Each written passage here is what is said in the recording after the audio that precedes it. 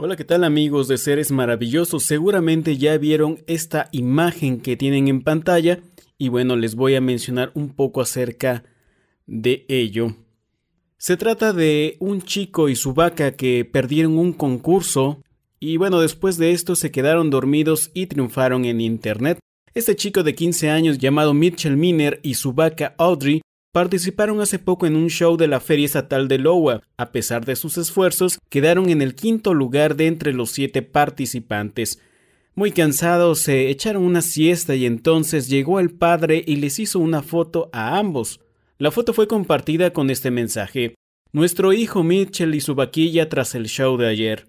Inmediatamente se volvió viral y recibió más de 15.000 likes en un solo día. Creo que cuando pasas tanto tiempo junto a ellas, se acaban sintiendo cómodas contigo, dijo Laura Miner, su madre, a Reins Moins Register. Ella y su marido crecieron en una granja y quieren que sus hijos conecten con sus raíces. Hemos aprendido mucho de la granja, dijo Jeremy Miner, el padre.